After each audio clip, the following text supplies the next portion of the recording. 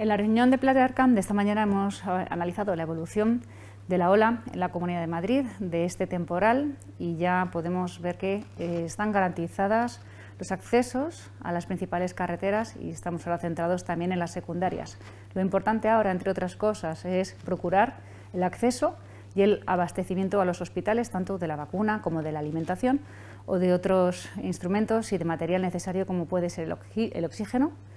También eh, lo que queremos ahora garantizar es el transporte tanto a lugares críticos como pueden ser supermercados, lugares de abastecimiento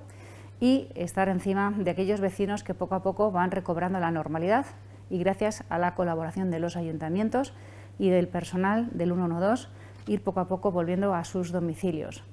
También estamos encima ahora de la situación del hielo, es lo que nos preocupa en la Comunidad de Madrid. Para ello, aparte de seguir suministrando sal y quitando nieve, pedimos la colaboración ciudadana y también las comunidades de propietarios, de vecinos, para que vayan limpiando los accesos tanto de las rampas de los garajes como de los portales, ya que en las próximas horas toda esta nieve puede convertirse en hielo. Hasta el momento los colegios siguen cerrados, la idea sería abrirlos el miércoles, pero según evolucione el temporal decidiremos